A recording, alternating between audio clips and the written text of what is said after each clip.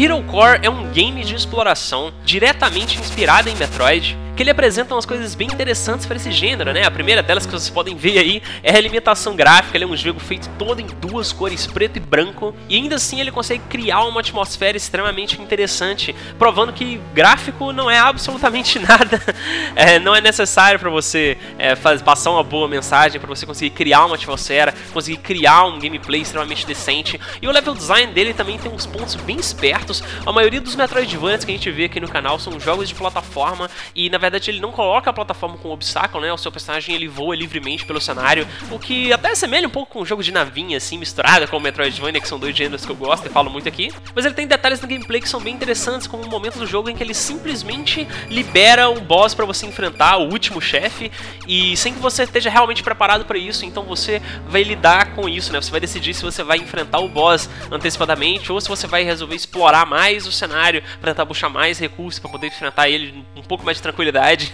você vai sentir um compromisso de explorar todo aquele ambiente para conseguir chegar no boss final. Esse é um game, na verdade, ele é uma sequência, tem um jogo antigo que é o Hero, só que o que eu recomendo é o Hero Core. De qualquer forma, eu tô deixando o link pros dois aí no, na descrição desse vídeo. E esse é um game feito pelo Daniel Rammer, que é um cara que já apareceu no canal pelo excelente Hyper Princess Peach, e um jogo que ainda vai aparecer aqui, que é o Ouija, que é um dos melhores games independentes ever, assim.